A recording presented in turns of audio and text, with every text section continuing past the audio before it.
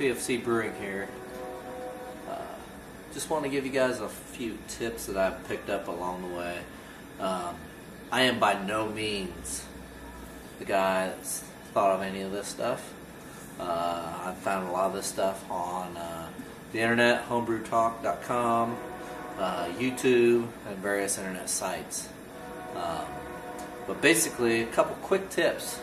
It always helps to be consistent when you're brewing, uh, to know how much water you have, how much uh, uh, water you have when you're brewing in your in your kettle, how much how much water you have in your uh, fermenter.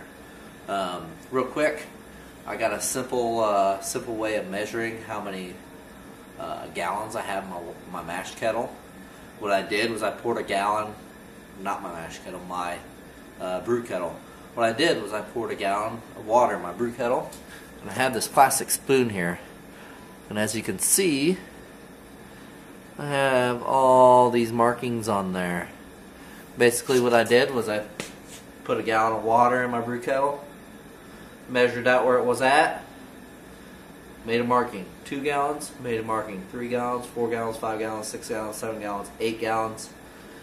Uh, I should have up to nine gallons on this guy.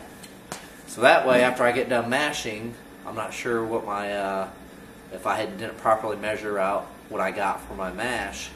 Just dip this guy in and count the lines as I go down. It'll tell me how many uh, gallons I have. This is really handy whenever I'm trying to figure out how many gallons of uh, of wort I have left after uh, after the full boil. It really helps out. Um, really helps out you to learn your brew equipment as well. Another quick tip um, that I also learned on the internet, just want to share, is to mark your fermenting vessel.